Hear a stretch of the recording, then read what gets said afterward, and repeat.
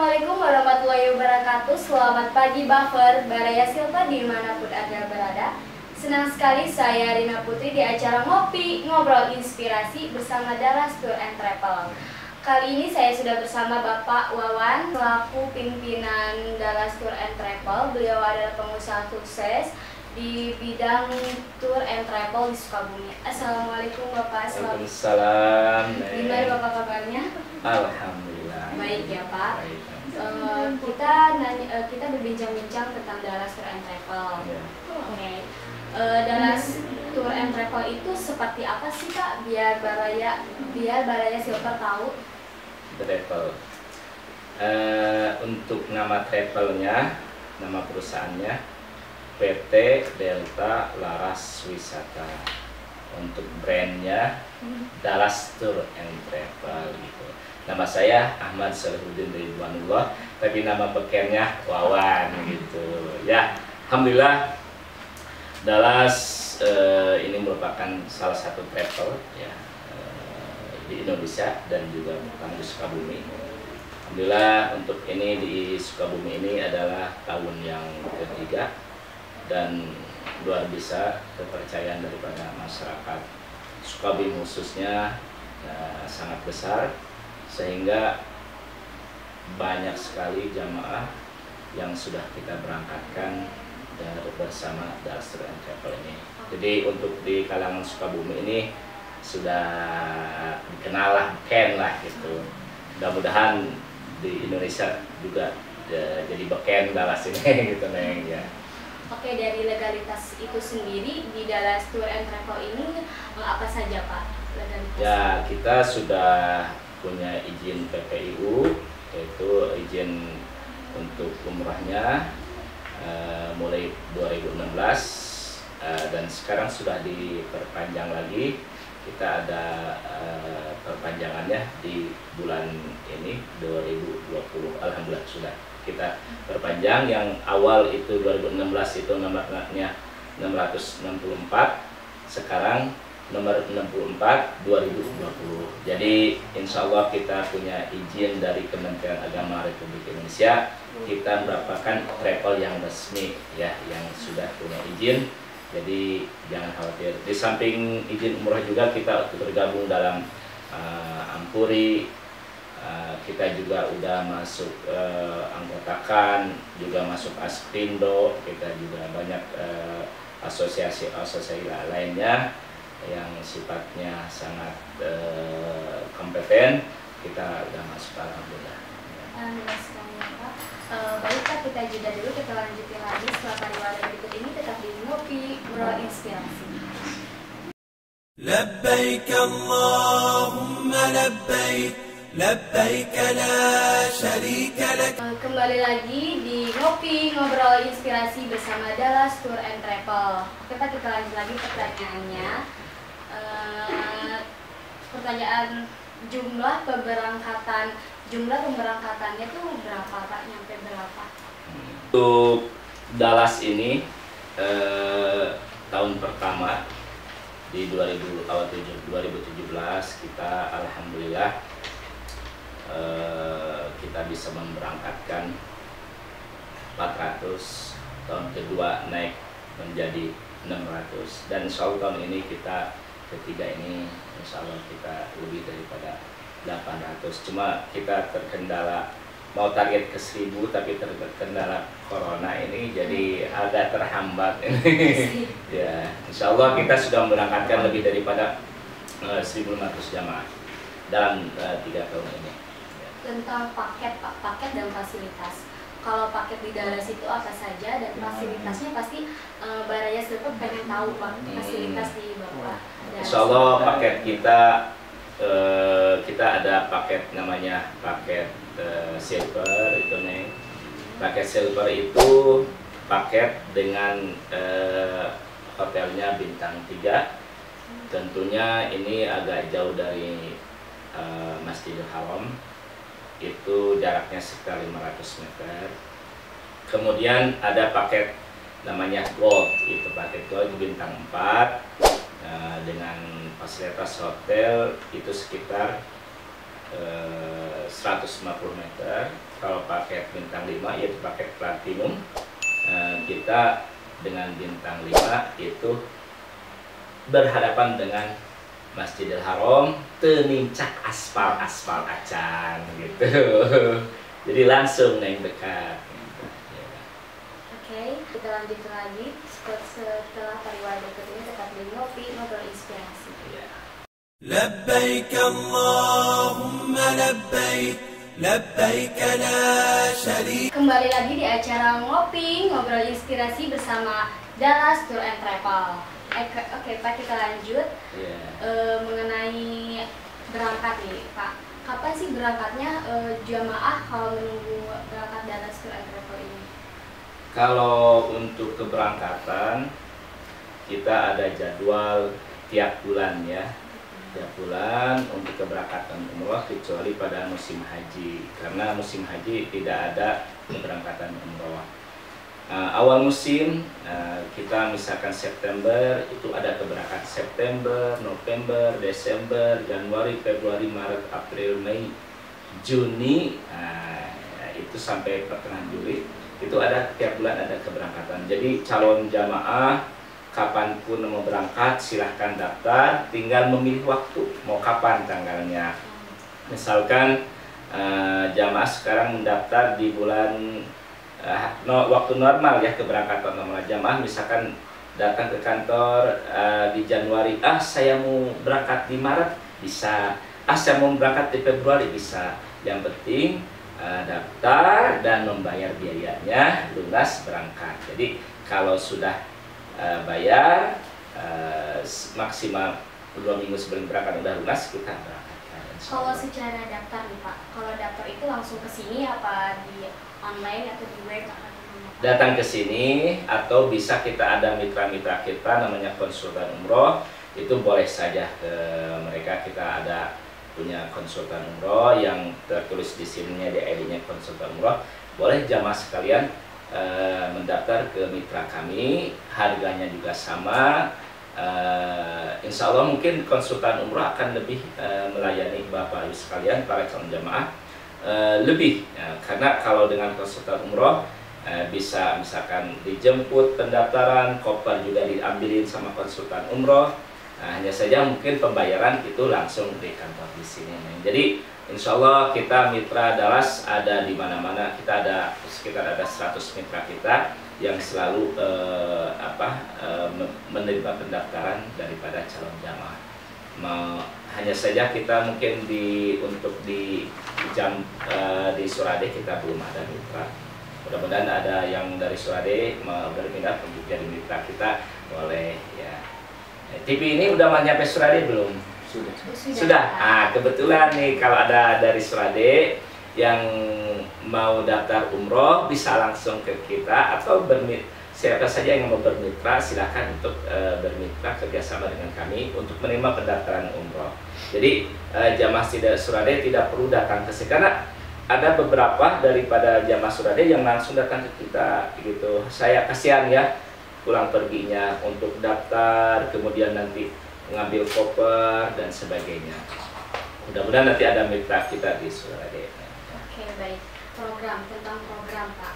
Kalau yang dimiliki Dallas itu programnya apa supaya orang menarik untuk daftar di Dallas ini Pak? Ya. Kita program utamanya kan eh, umroh. Umroh itu ada umroh reguler, ada umroh plus. Nah, umroh reguler itu berarti hanya eh, berangkat ke tanah suci, eh, mengunjungi kota Madinah, ke Masjid Nabawi dan ziarah-ziarah di kota Madinah dan eh, intinya di Mekah pelaksanaan ibadah umroh yaitu eh, pelaksanaan ibadah umroh di Mekah. Jadi tiga hari biasanya yang umumnya tiga hari di Madinah dan empat hari di Mekah. Jumlahnya tujuh hari perjalanan. Di sembilan hari itu paket reguler yang umumnya terutama Sukabumi ini eh, kebanyakan ngambil paket reguler. Ada ju ada lagi yang namanya paket plus plus wisata Turki plus wisata religi eh, jejak Rasul Nah, plus Turki itu berarti kita ke Turki dulu tiga hari. Nah di Turki ini banyak yang eh, orang penasaran dengan bagaimana keindahan kota Turki. Ini sangat menarik sekali. Kalau wisata plus Turki terutama anak muda yang sudah tua juga nggak kalah enaknya ya, ya asiknya gitu ya.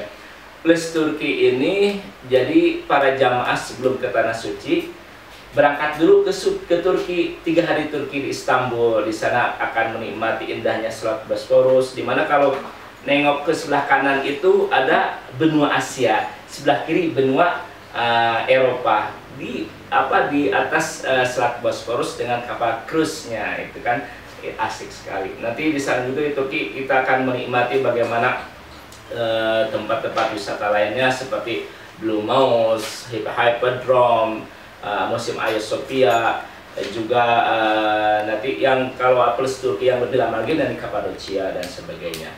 Jadi nah setelah itu kita dari Turki tiga hari nanti kita uh, ke apa ke Medina turun kemudian ke Makkah dan kembali lagi bisa Oke, gitu. Pak.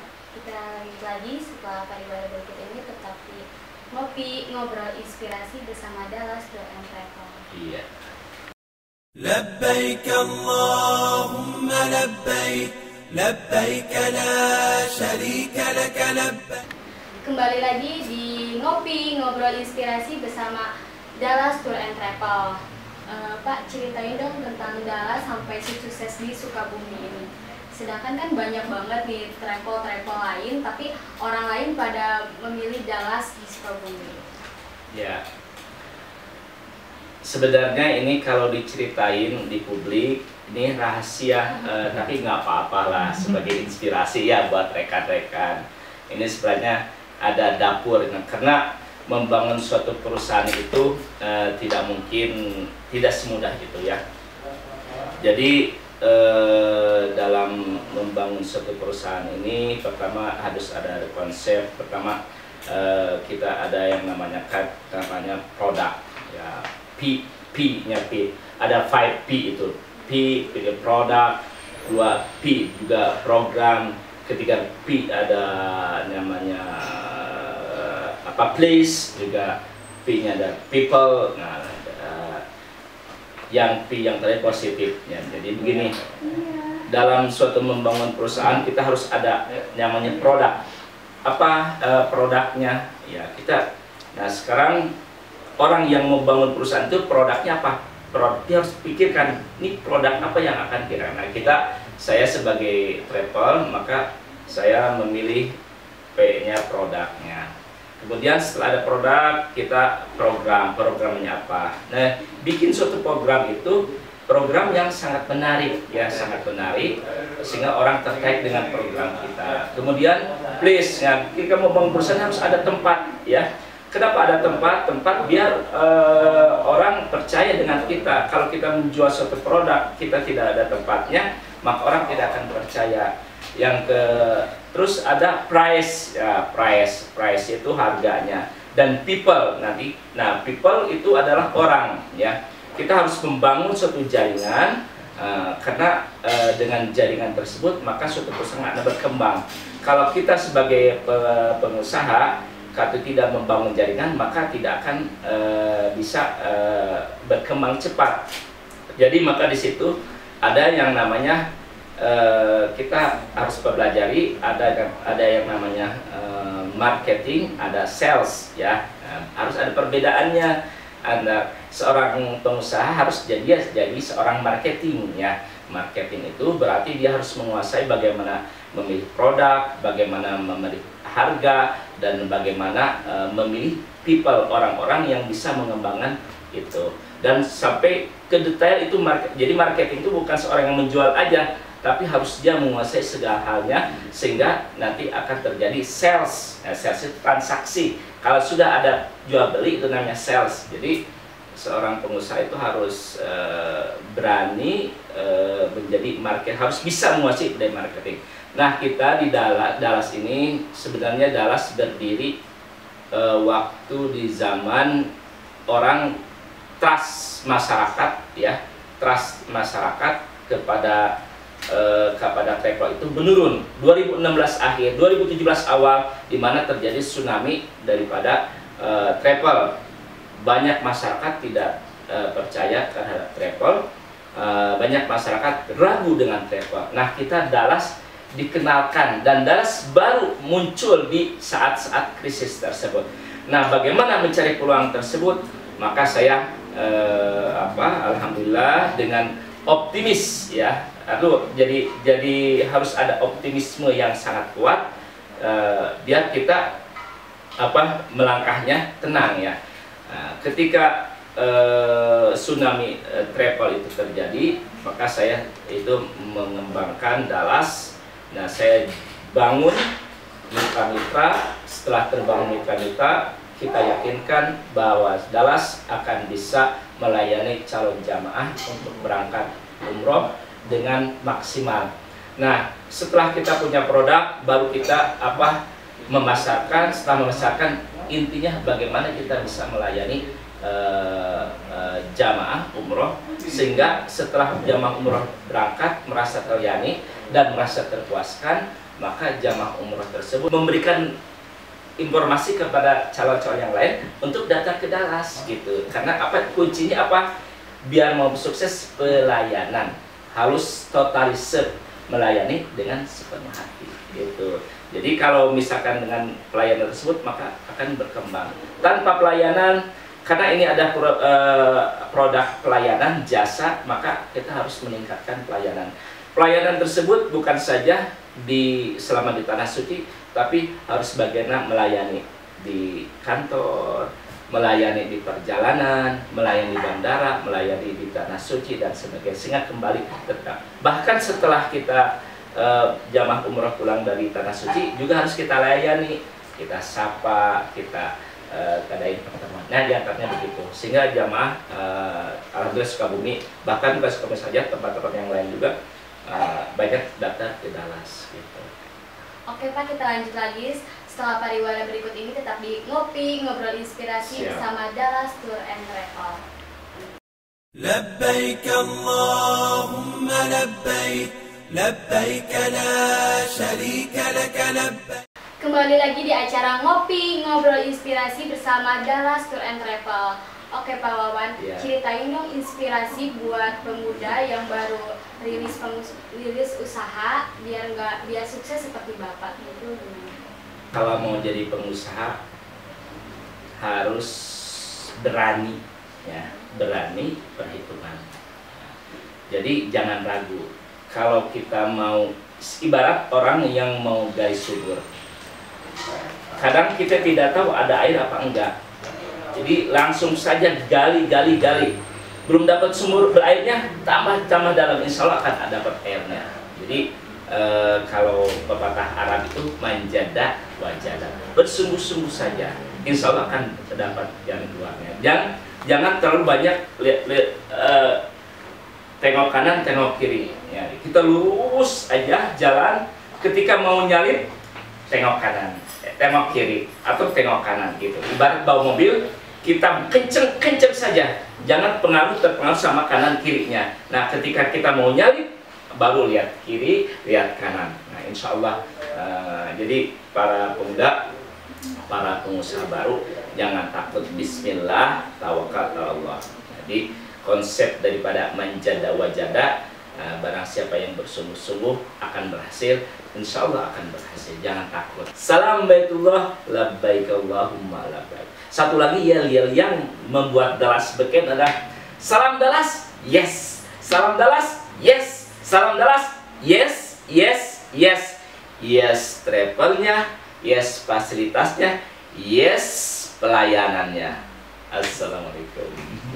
لبيك اللهم لبيك لبيك لا شريك لك لبيك Assalamualaikum warahmatullahi wabarakatuh.